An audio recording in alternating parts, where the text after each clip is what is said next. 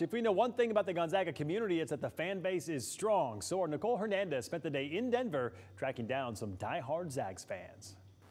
So we're of course very excited to be out here in Denver rooting for our Zags and so are a bunch of other Gonzaga fans. So I actually headed down to the airport today to find some incoming fans.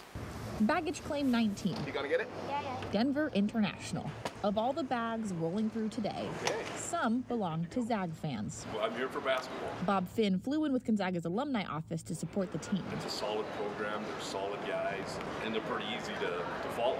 And, you know, they're good. For some fans, though, they don't need luggage to be here. When the tournament comes around, you guys know I'm only picking one team. Buzz Schomburg lives in Denver, but roots for. Is Gonzaga to the end. Buzz gets together with Denver's alumni chapter to root for the Zags.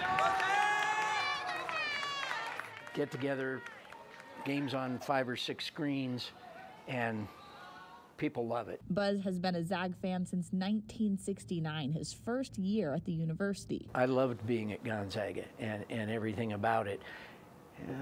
Except for the basketball team when I was there. I guess you could say Gonzaga has a bit of baggage when it comes to basketball. For literal decades, no one knew Buzz's alma mater. It was like, yeah, where's where's Guns Guns where? But that's all history now. And then now, Now there's no question the Zags are on the map. it feels really good.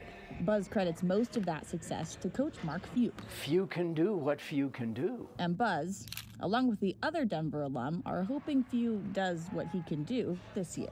I think with the right kind of games early, um, I, I think they can make it to the Final Four, and I hope they can win it with Timme.